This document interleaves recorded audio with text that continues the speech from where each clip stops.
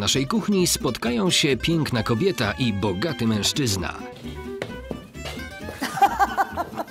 Wiesz, ty eksperymentujesz. Ty, to jest Tak. bardzo, bardzo ciekawe. Ja myślę, że y, to nas gdzieś w tych, y, to No. nas gdzieś łączy. W pewnym sensie trochę idę w polityce twoją, twoją drogą.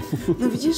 Byliśmy przez Plac Czerwony w Moskwie i przyjechała kobieta na białym koniu. To w ogóle było...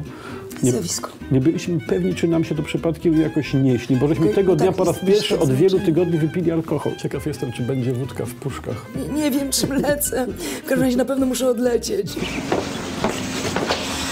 Henryku, i proszę przekaż, żeby kogut był dobrze oskubany. Nie znoszę tych kiur w zębach.